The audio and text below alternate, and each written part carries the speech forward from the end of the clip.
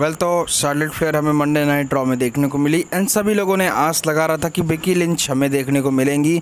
Becky Lynch का हमें return देखने को मिल सकता है एंड हाँ हो सकता है कि हमें लोग, जो कि अभी तक रॉ ख़त्म नहीं हुई है सो हो सकता है हमें रिटर्न देखने को मिल सकता है। तो एक तुमको हिंट देता हूँ कैसे हमें रिटर्न देखने को मिल सकता है।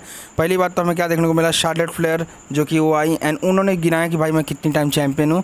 Five time Raw women's champion five time SmackDown women's champion one time NXT champion all over मिला के इलेवन टाइम वर्ल्ड चैंपियन जो कि शार्लेट फेयर अपनी चैंपियनशिप विक्ट्रीज गिना रही थी। वेल इसके बाद हमें वेल तो रिया रिप्ली देखने को मिलती है तो रिया रिप्ली यहाँ पे आती हैं एंड इसके बाद तो वो मतलब यहाँ पे जो शार्लेट फेयर वो कहती है ना कि मैं तुमको हर हर एक हफ़्ते हरा सकती हूँ हर वीक हरा सकती हूँ।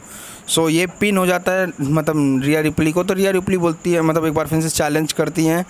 सो बेसिकली यहाँ पे चैलेंज करती है चैम्पियनशिप के लिए।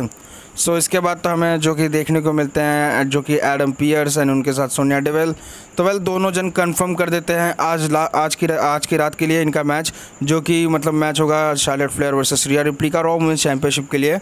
एंड आई थिंक मुझे पर्सनली लग रहा है कि भाई ये जो मैच कंफर्म हुआ है इसके बाद मतलब अटैक भी देखने को मिलता है शार्लेट फ्लेयर का रिया रिप्ली के ऊपर जो कि ओवरऑल अच्छा ही था। मुझे लगता है कि इस नाइट में बैकी लेंच का रिटर्न हो ही जाना चाहिए। तो वेल वैसे आप लोगों का क्या ओपिनियन है वो मुझे कमेंट सेक्शन में बताना। तो वेल वीडियो पसंद आई तो लाइक डिसलाइक शेयर सब्सक्राइब जो भी करना कर सकते हो। सोफन मिलता है अगले वीडियो तब तक ले बाय एवरीवन समय की मार है ये मेहनत की हार है ये खुद को बदलना तो मेरे शब्दों के विचार है। अफसोस है कि आज सबने इसको भुलाया फ्राइडेज को इसने आर के था लगाया।